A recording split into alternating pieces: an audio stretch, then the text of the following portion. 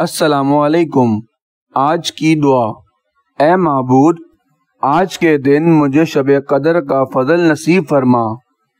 इसमें मेरे मामलात को मुश्किल से आसान बना और मेरा उज़र माजरत कबूल फरमा और मेरा गुना मुआफ़ और बोझ दूर फरमा। ए अपने नेकोकार बंदों पर मेहरबानी करने वाले।